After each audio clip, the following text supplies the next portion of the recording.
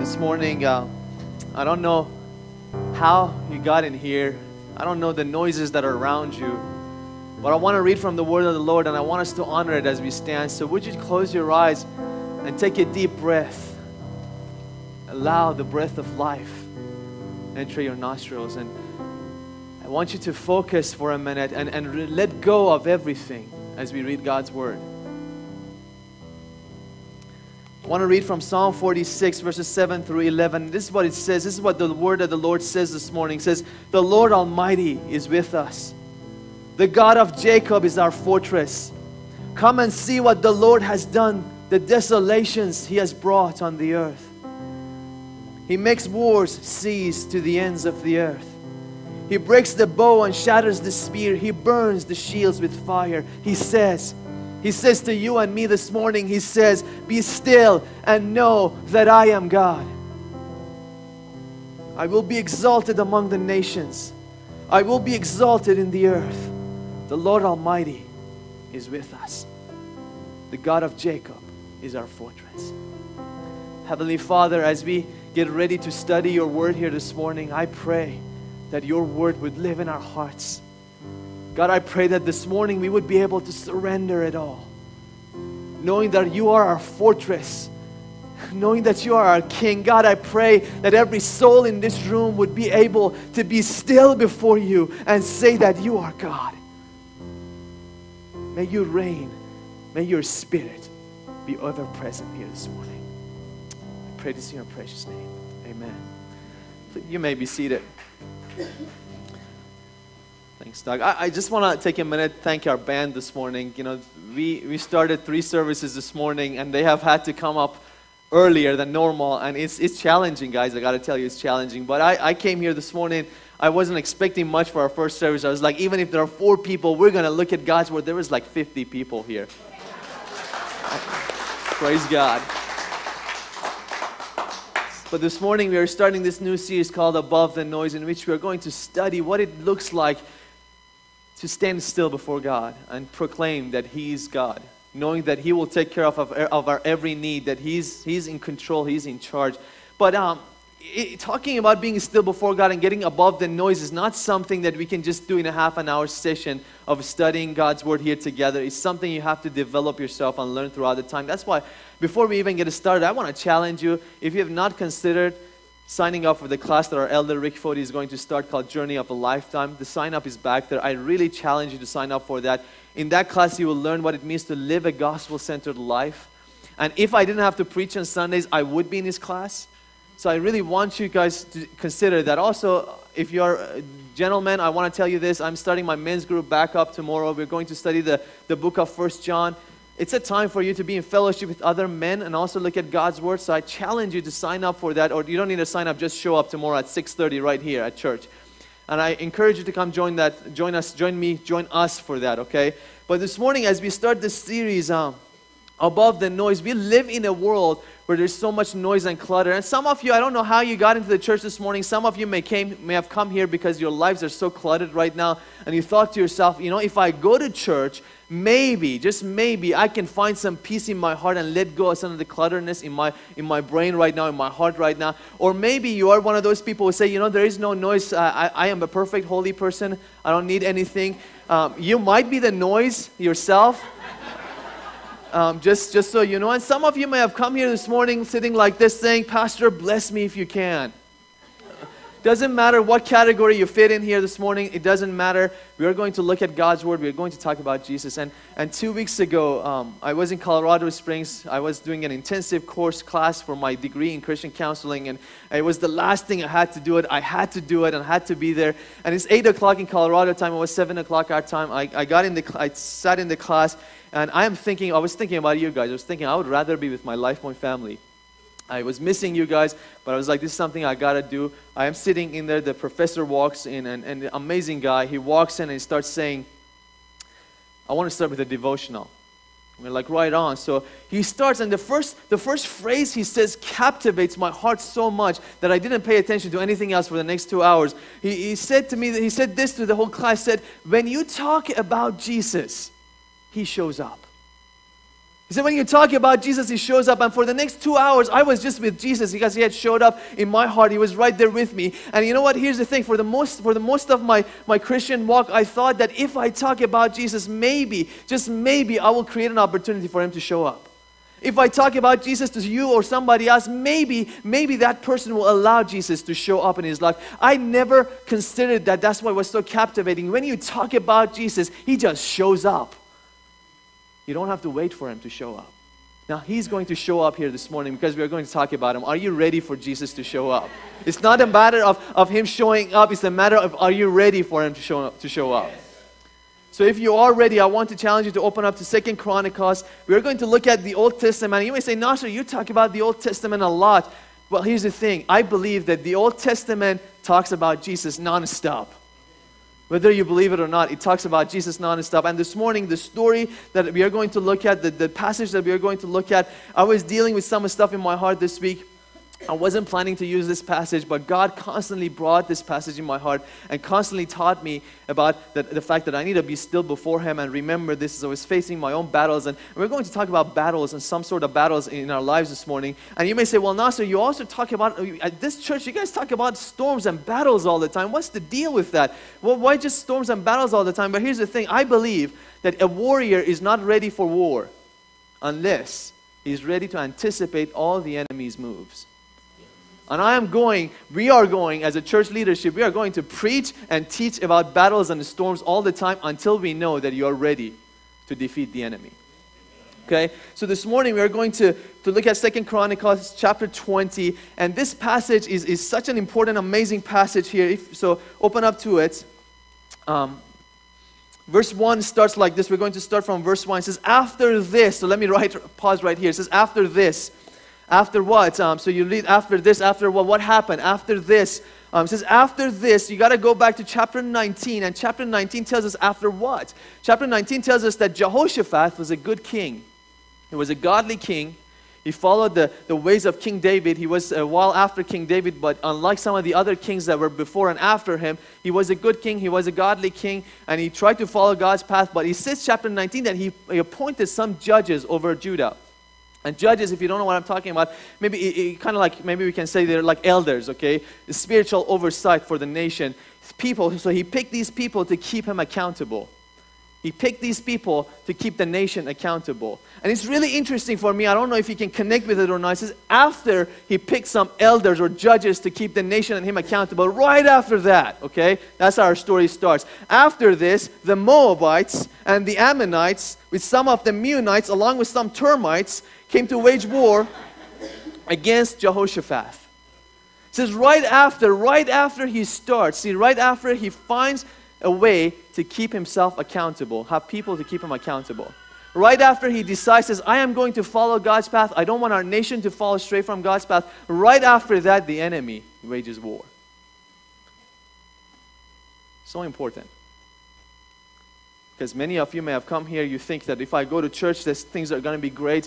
When you decide to follow the path of God, things are not going to go as great as you thought. The enemy does not like that. He's going to wage war. So right after this, these, these, all these people come to wage war against Jehoshaphat. Some people came and told Jehoshaphat, a vast army is coming against you from Edom, from the other side of the Dead Sea. It is already in Hazazon Tamar, that is En Gedi. Alarmed, Jehoshaphat went to a corner and started crying and said, Why does everybody hate me? Your translation doesn't say that? Well, maybe this is a different translation. I don't know. No, this is so interesting. It says, Alarmed, Jehoshaphat resolved to inquire from the Lord. And he proclaimed a fast for all Judah. The people of Judah came together to seek help from the Lord. Indeed, they came from every town in Judah to seek him. And I find this very interesting because, because we've been talking about prayer for the past four weeks. And just because we've taught about prayer and preached about prayer, we're not going to stop talking about prayer. It's the essence of our faith. In fact, you guys wrote about 2,000 names on the wall of people who need to find the love of Christ. Those names are in our prayer room. They're going to be there to the end of the year. We're going to pray for them still. But this story reminds us, it allows us to go back and restudy the things that we have talked about. If you have so much noise in your life and the enemy is bringing the battle to you, eliminate noise. by turning panic into prostration. And I know so many of you maybe don't like that word prostration. And I'm, I'm not necessarily a fan of it myself either, but, but the word prostration, I'm not talking about prostitution here, okay? I'm not talking about, I'm not t- telling you to turn panic into prostitution or turn it into your prostate. That's not what I'm talking about. I'm talking about turning panic into prostration, and prostration literally means to fall face down before God.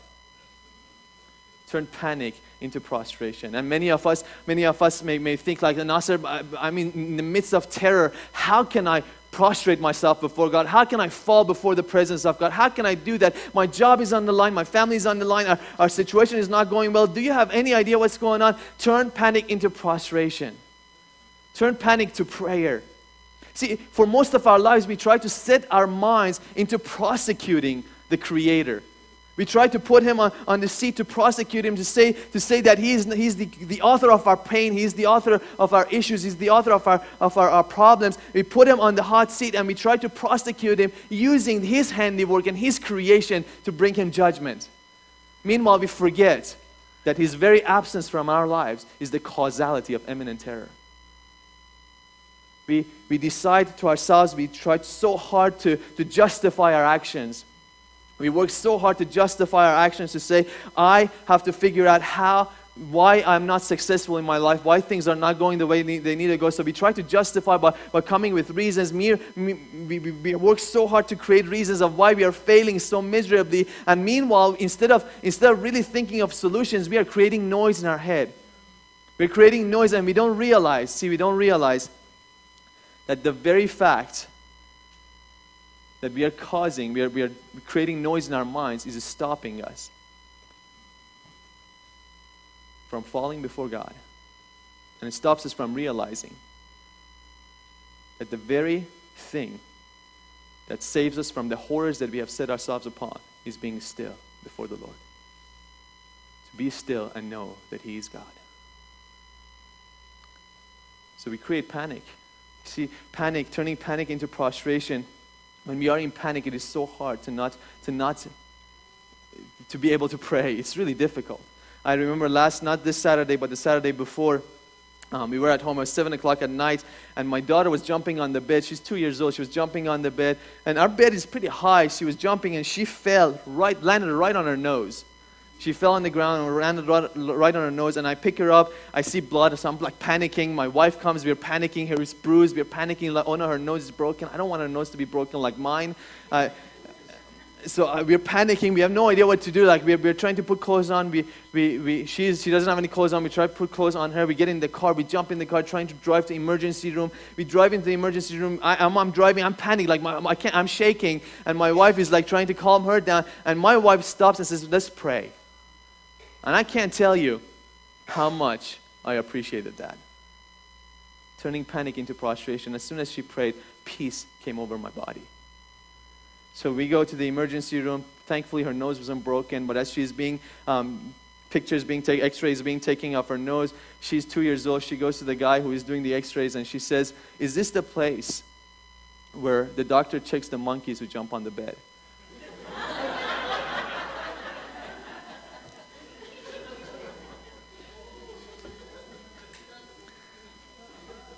When you turn panic into prostration, when you turn panic into prayer, you allow God to take control.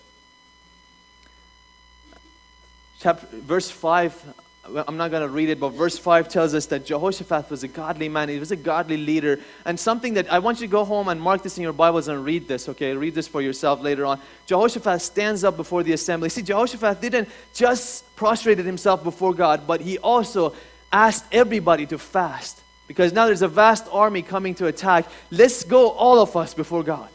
If we all treated, if we all treated our problems like that, our problems would be nothing. See, Jehoshaphat is a godly leader. Now, parents, you got to learn that as well. As parents, we got to lead our kids to learn that in, in the midst of panic and terror, they can depend on God. Jehoshaphat, as a godly king, stands up before the assembly, before all the, all the people of Judah, and says this elaborate prayer goes from verse 5 to verse 12. Now, I want to encourage you to go home and read it later on. I want to focus on verse 12 real quick. As he prays and he's finishing, finishing his prayer, he says, Our God, will you not judge them? God, we are trying to follow you. We are trying to do the right thing. Will you not judge the enemy?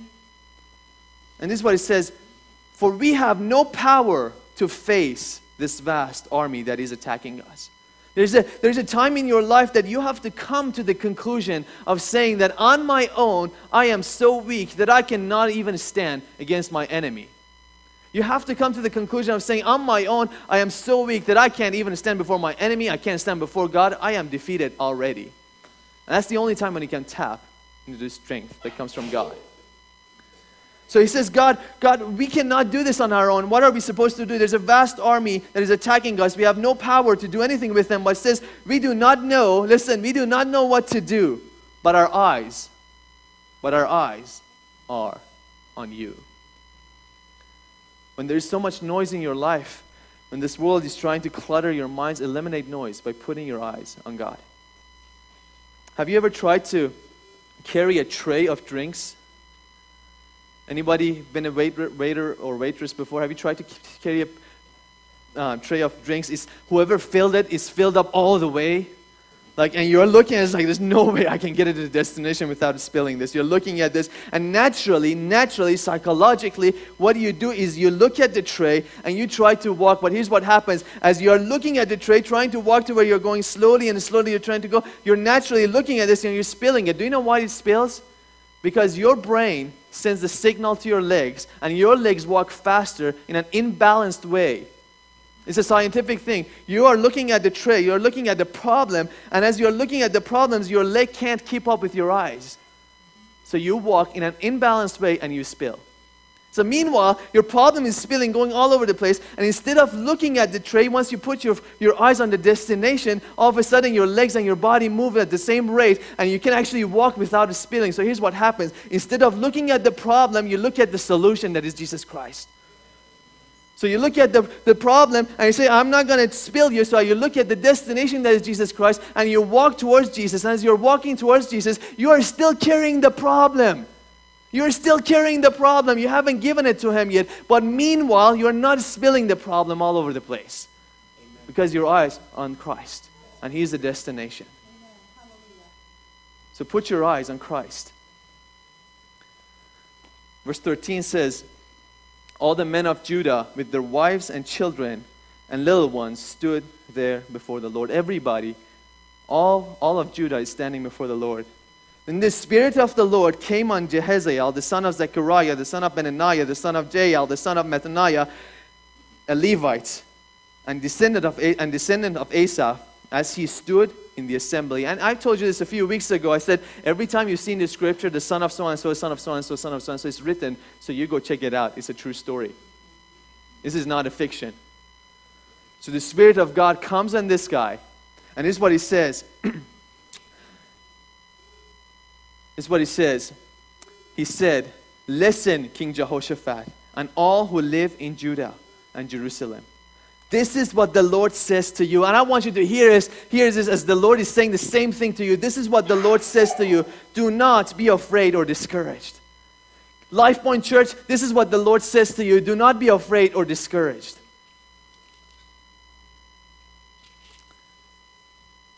Do not be afraid or discouraged because of the vast army. There might be an army before you, but do not be afraid or discouraged, for the battle is not yours, but God's.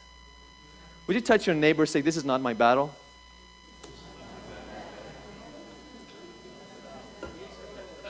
See, eliminate noise.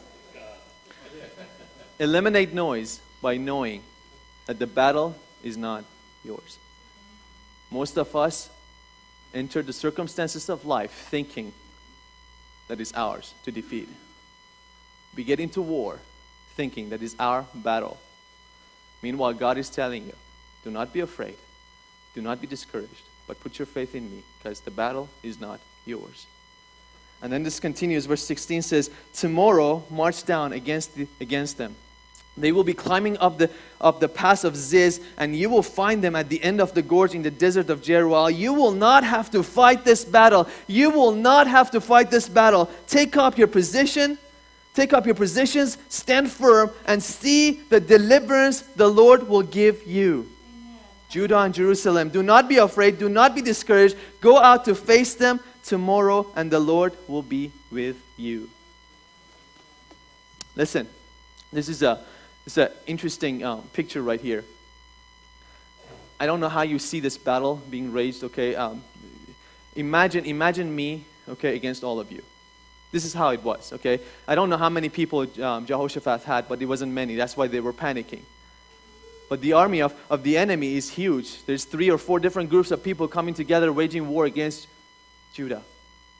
Again, I have no, no chance of defeating all of you. It's impossible. I mean, I might take a few of you down, but that's it.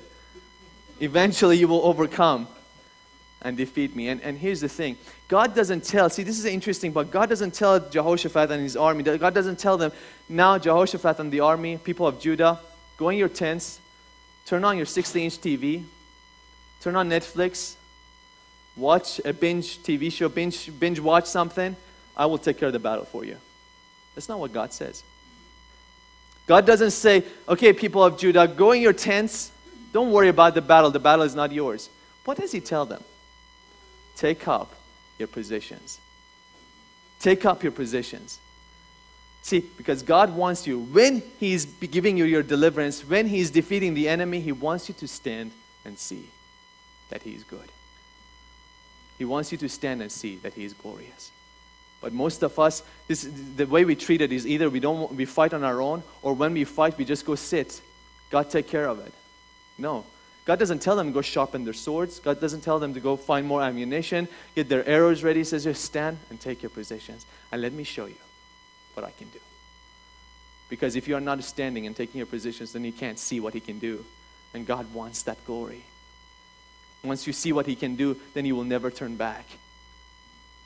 So the battle is not yours. Verse 18 says, actually, before I go to verse 18, verse 17 still says, Do not be afraid um, at the end of verse 17 says, Do not be afraid, do not be discouraged. Go out to face them tomorrow, and the Lord will be with you. We just read that in a few, a few seconds ago. But here's what happens there's a, in psychology, there is a. Um, there is this concept that says people who are developed properly and, and, and, there's many different theories on human development and cognitive development of humanity but, but people who are developed properly it says that there are three stages that people are developed into and the first one is, is there's, as I said, there's many different people, many different theories. I'm using just one of them to give you an example that the people are born, children are born to be dependent. Okay?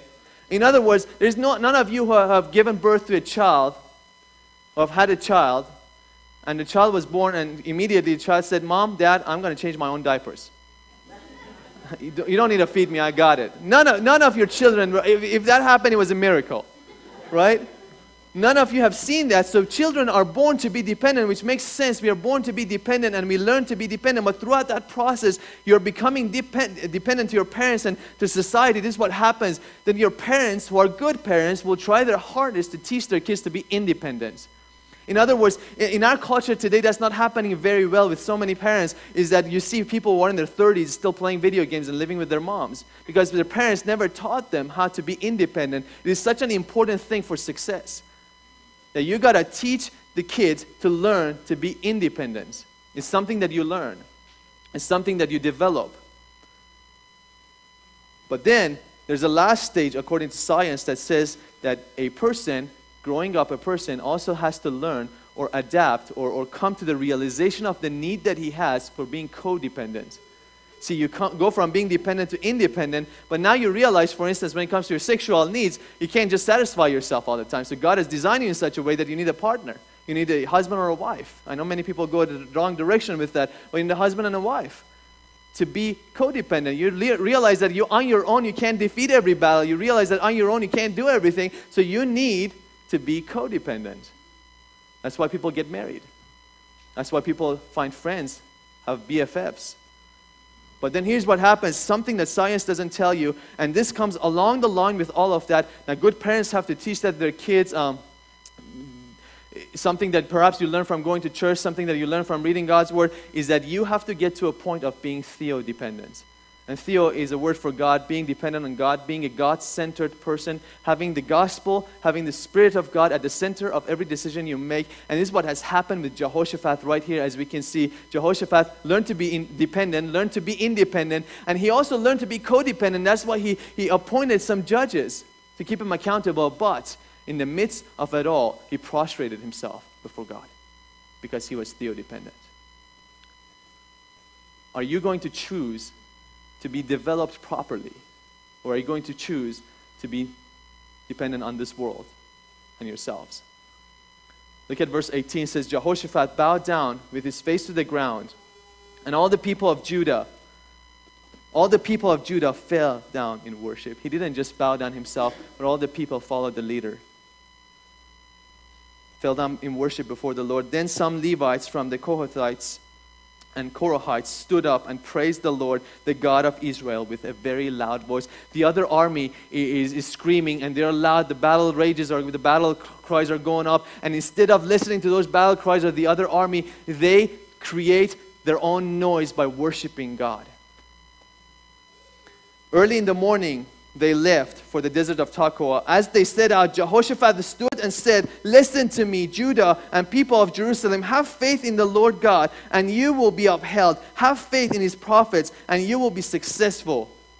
Be theo-dependent, and you will be successful. After consulting the people, Jehoshaphat appointed men to sing to the Lord and to praise him for the splendor of his holiness as they went out at the head of the army. Give thanks to the Lord. They're singing. Listen, they're singing. Give thanks to the Lord, for his love endures forever. Eliminate noise. We talked about this um, a while back also. I want to kind of refresh in your mind. Eliminate noise by turning fear into faith. Okay, turning fear into faith. And here's what happens. Um, this is a comical picture.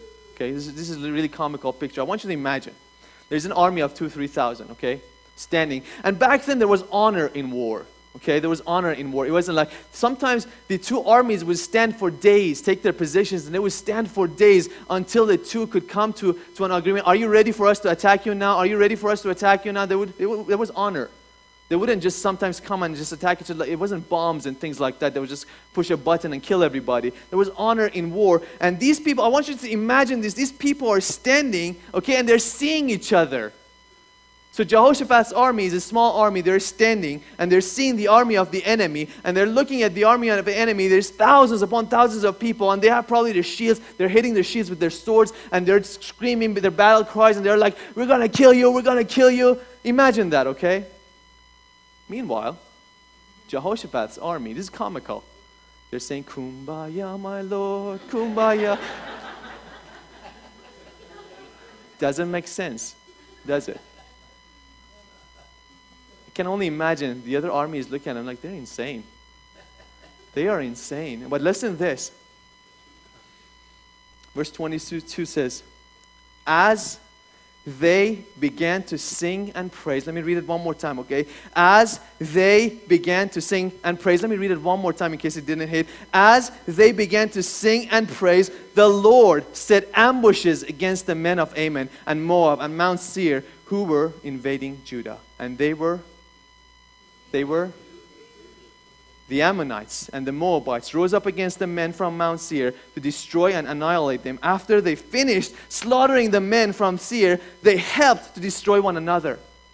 See, they are singing and they are praising, and as they begin worshiping God, all of a sudden God goes crazy and sets ambushes against the enemy, and they go against each other and they kill each other, annihilate each other, and destroy each other. And the Jehoshaphat's army is like, What is going on? We're singing to God, what's going on? And guys, this is really important for us because so often we have no idea how important it is to worship God. In the midst of your songs to God, in the midst of worshiping God, God defeats your battles. You have to remember to worship God. You have to remember to say, worship is not coming on Sundays and singing a few songs. Worship is something you live. And in the midst of your battles, when you sing to God, God is right there. And it says, it says the, the Ammonites and the Meunites and all these people slaughtered each other. They literally became like termites that were crushed. And then it tells us, read the rest of it on your own at home. It tells us that Jehoshaphat's army went and there was not a single soul left. And there was so much plunder that they could not carry it all. 1 John 5 5 says this Who is it that overcomes the world? Who is it that overcomes the world? Only the one that believes that Jesus is the Son of God. You think your battles are yours? On your own, you can't overcome the world. But when you believe Jesus is the Son of God, you overcome the battles of this world. You may look at it and say, well, why is it that Jehoshaphat was with God, or God was with Jehoshaphat? Would you open up to um, chapter 17, go three, few pages over back, chapter 17 of Second Chronicles. And it tells us why God was with Jehoshaphat. It says, The Lord, verse 3 says, The Lord was with Jehoshaphat because he followed the ways of his father David before him. He did not consult the Baals, and if you don't know what Baals are, they're terrible idols. Jehoshaphat followed the ways of his father David. In other words, David followed the ways of God. And Jehoshaphat followed that. And he did not go create idols, he did not worship idols. He worshiped God alone. Verse 4 says this Verse 4 says, But he sought the God of his father and followed his commands rather than the practices of Israel. Instead of looking at the culture and saying, I am going to bow to you, culture, I am going to give in and compromise, he did not bow down to the culture of Israel. When you do that, it doesn't make sense. It doesn't make sense to go to a battle and start singing praises. It doesn't make sense. But when you give in to the ways of the culture, you are already defeated. So I want you to I want you to understand this here this morning.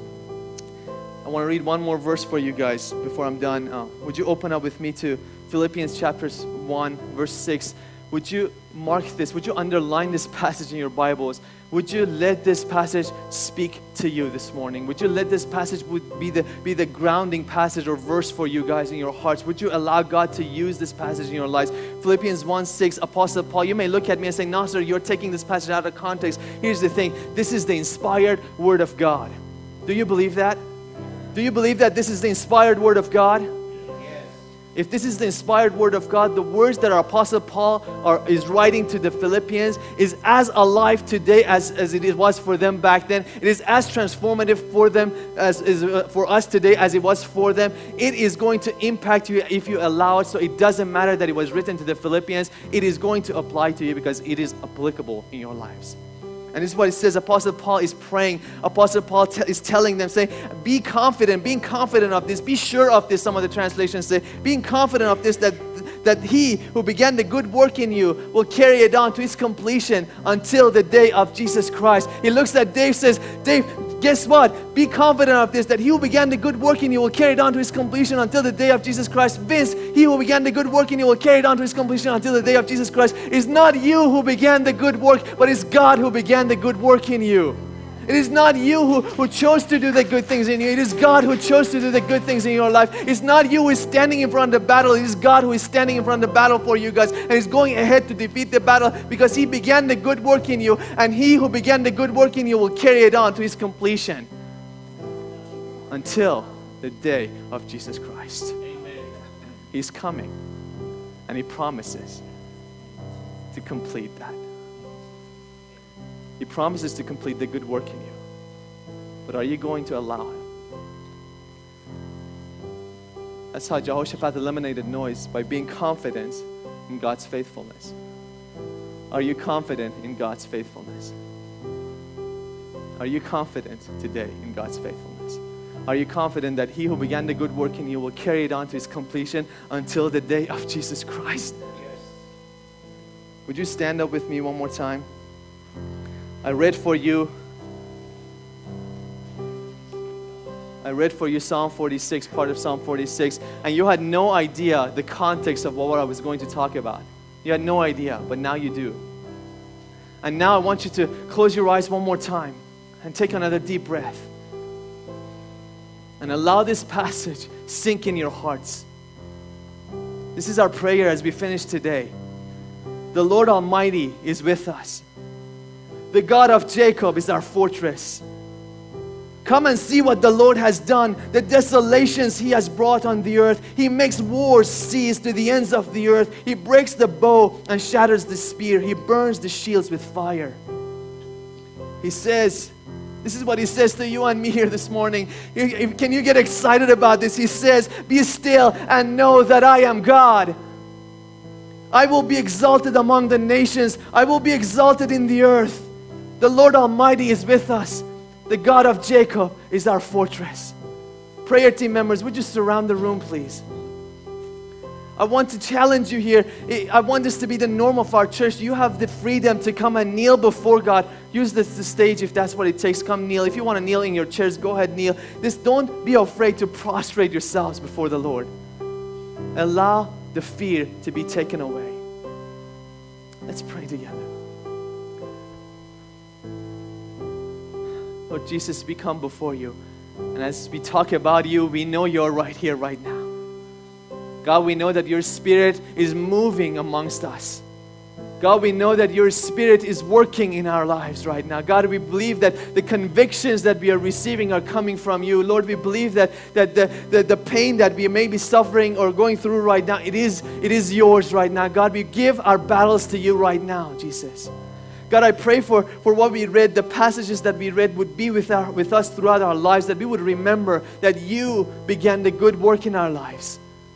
And God, I pray that we would remember that because you began the good work in us, you will carry it on to its completion until the day you come back. And when you come back, you will take us as your bride. And we will spend eternity singing praises to you. Lord Jesus, I pray for those who are dealing with some really hard things right now in their lives. I pray that the peace and the comfort that comes from the Spirit of Jesus Christ would be in their hearts and you would overwhelm them right now with such peace that they cannot, they do have no idea what is coming from, the, the surpassing peace that comes from the knowledge of Jesus Christ. Lord, work in our hearts and our lives today. I pray this in your precious name. Amen.